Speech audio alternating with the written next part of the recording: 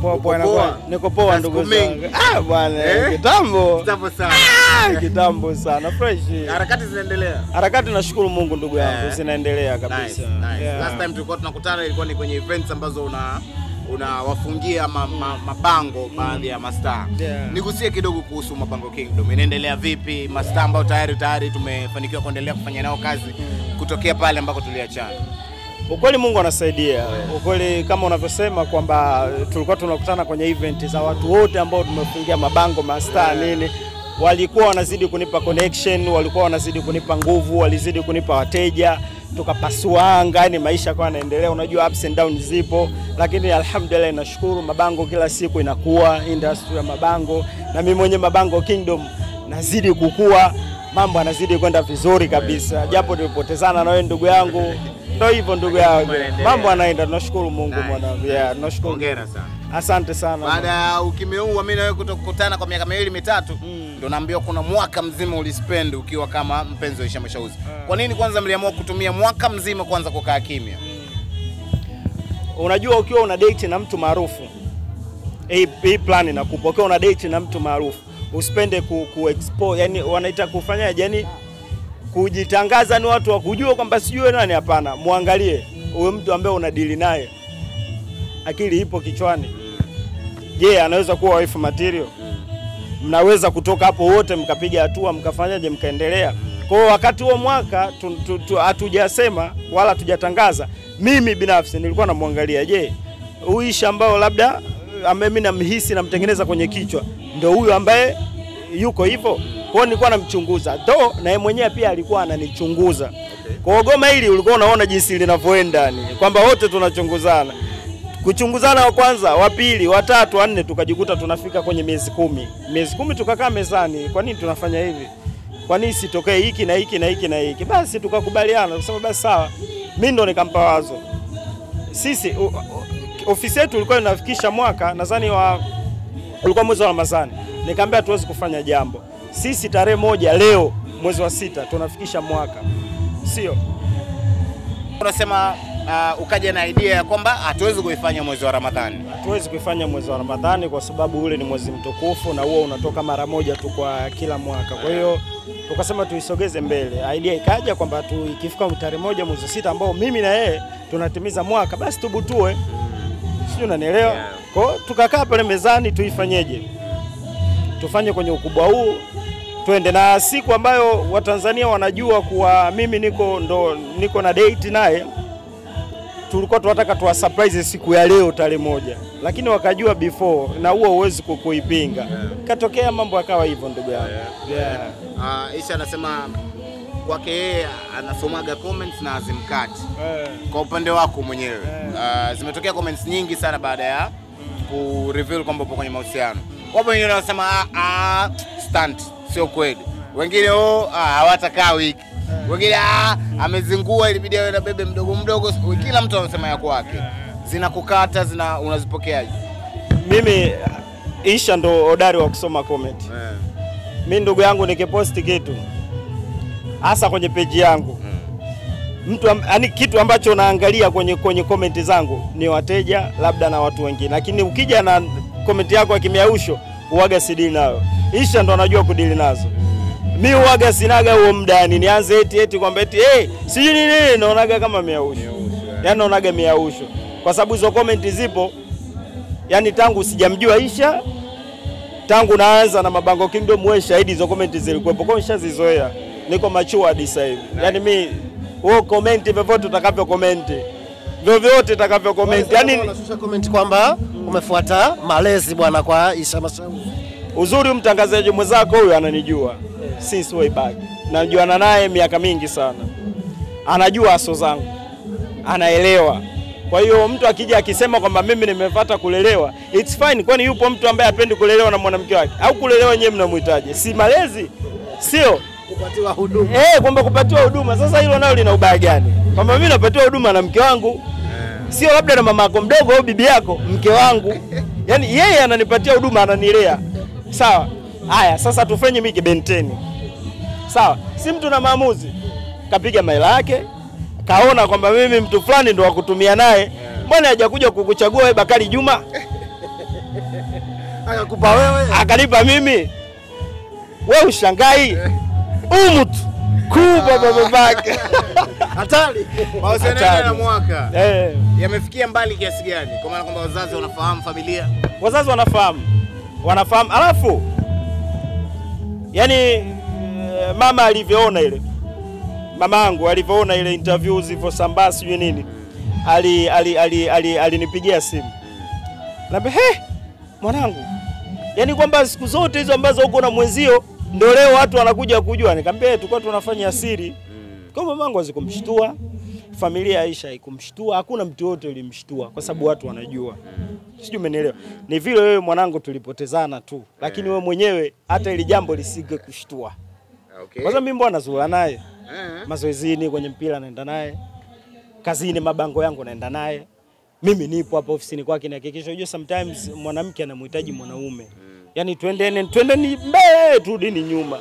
Mwanamke anamhitaji mwanaume, yani lazima kwenye nyumba au sehemu yote mwanaume lazima uwepo, yani yani ile sauti yako yani lazima itumike. Kwa hiyo mimi mbona nipo nipo naye, sema watu walikuwa watuoni kwa sababu kalala kwenye siti ya gari nini, mzee ana drive. Oya, na mavideo hapa mwanangu kikuonyesha, unaona kabisa yani mchumba amepoa, anamfuata yeah. saluni, natoka naenda naye, mimi naenda kunyoa, yeye ananisubiria. Mm. Oa, eh bwana, mimi sijatupa mti na jongoo. Oa, jongoo katoka mte, nimebaki nao. Tumebaki. Ii, shauri.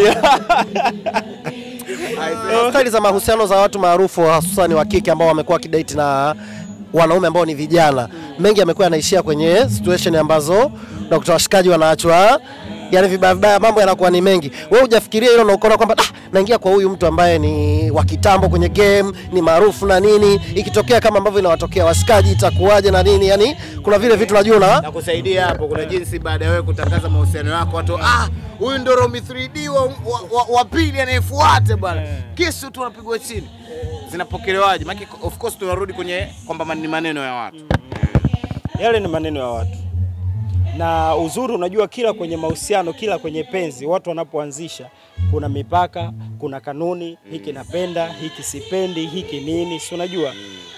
Ndio maana mimi nawaambiaga sana, yani shetani yupo kazini. Mnaweza kama mna lengo kabisa zuri kabisa zuri kabisa kwamba bwana, si tunataka hivi, lakini shetani tusiache dua.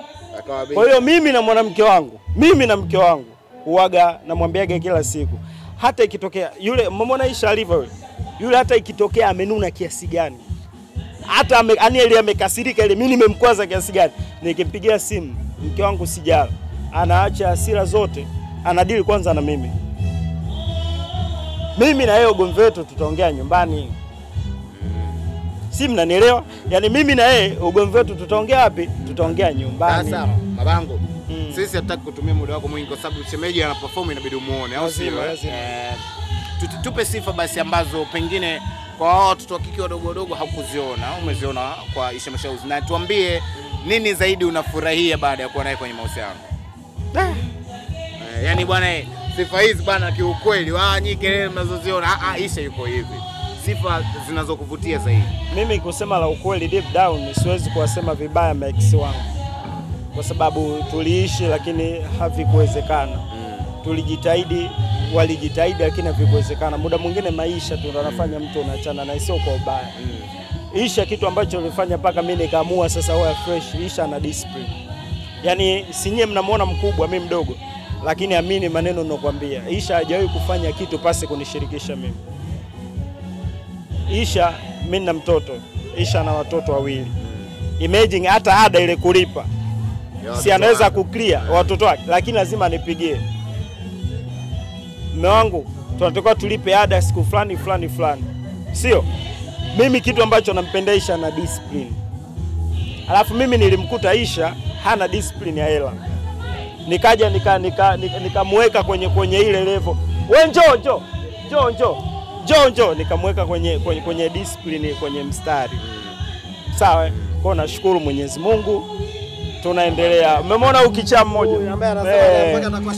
Eh, kichaa mmoja mmemwona huyu Ametoka amekuja kunisapoti ndugu yake kwenye shule ya wifi yake.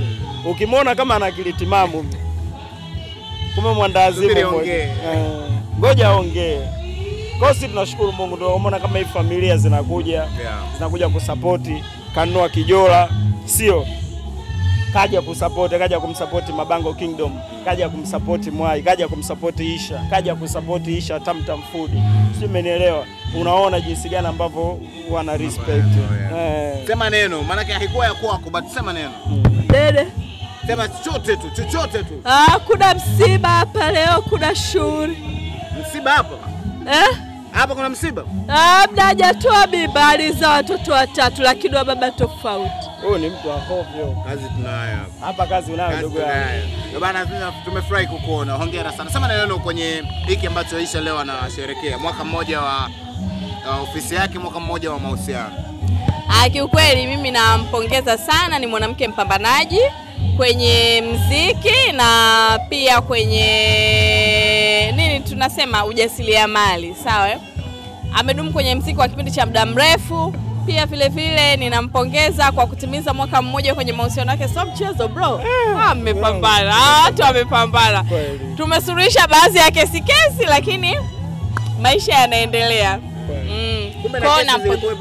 Ah, kwenye maisha kwenye maisha ya mahusiano hawezi kuwa eti amenyoka. Hata Mungu alivyoumba ardhi, ameumba milima, ameumba mabonde, ameumba tambalale, sawa eh? Kwa hiyo hata kwenye maisha hayawezi kuwa yamekaa tu hivi yamenyoka, lazima kuna sehemu ya yatapita kuna pia, kuna mabonde, kuna milima. We mahusiano yako yamenyooka tu siku zote, we nani eh? Kweli, kweli, kweli. Eh bana Mabango, kuna chochote unatamani unatamani kumalizia kwa waandishi ambao wako mbele yako hapa? Waandishi wa habari, tunashukuru sana kwa kufika kwenye swala la mke wangu, kwenye swala langu. Naombeni msapoti, naombeni mzidi kutagi huko, naombeni mkawaambia watu kwamba mimi ndo naitwa Mabango Kingdom, mimi ndo naimiliki, yani mimi ndo natengeneza mabango worldwide, Tanzania nzima hii. Haya, inabidi tumchapie shemeji moja siku yani bonge moja la kitu yani, Yeah. yani mimi natoa bango. Eh. Hilo jukumu lake. Mmenielewa, Eh. sijui. Sio kumsupport eti anamsupport kwa Ah, hayo ni majukumu yake. Sisi upande wa upande wa kiumeni, hilo jukumu letu tutalifanya. Eh, Eh. sijui unaelewa, sijui wasiache kuingia kwenye peji yangu ya Mabango ah, underscore kingdom moja, nadhani unaijua. Waende pale watu follow, wa likes, wa comment, waangalie mambo ambayo watakuja pale na kila kitu. Pia wasisahau kwenda kwenye Black Pass, huu mi familia yangu na kila kitu. Wasiache kuja dugu, uh, mini ofisini kwetu kuja kula humu, kuna pikwa, kuna Hadi mavyakula eh. Eh, hadi nyie wanakuna, msiondoke hapa mpaka mle. mpaka mle. Oya, ukiondoka haujala hapa, tagombana mwanangu, tagombana. Taarifa zako nitapata.